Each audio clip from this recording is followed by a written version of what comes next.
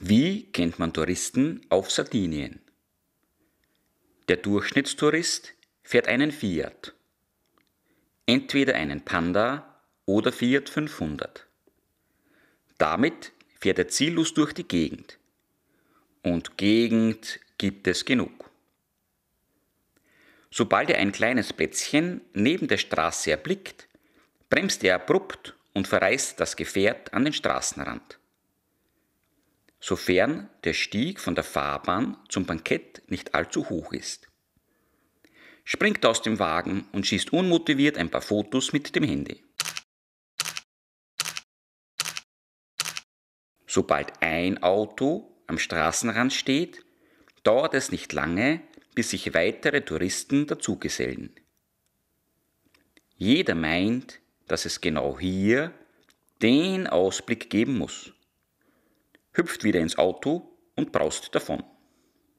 Wir machen es genauso.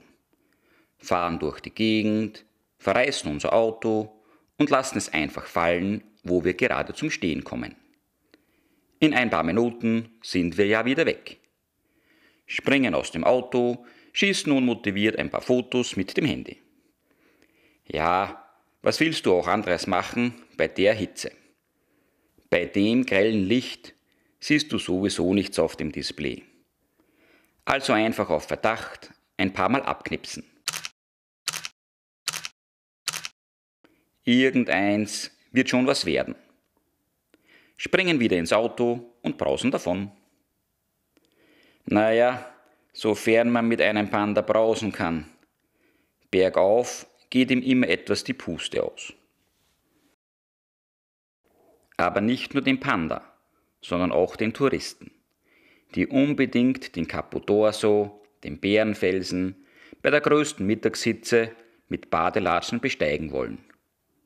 Unsere Ausrede ist, dass wir unser Mietauto am Vormittag bekommen haben und daher zu Mittag zufällig hier sind. Obwohl man den Bären von normal zugänglichen Bereichen leider nicht als Ganzes sieht, ist der Ausblick zum Meer zu den Madalena-Inseln doch etwas Besonderes. Der Durchschnittstourist besichtigt auch schön brav die angegebenen Orte aus seinem Reiseführer, schießt unmotiviert ein paar Fotos mit dem Handy und irrt durch die alten Straßen.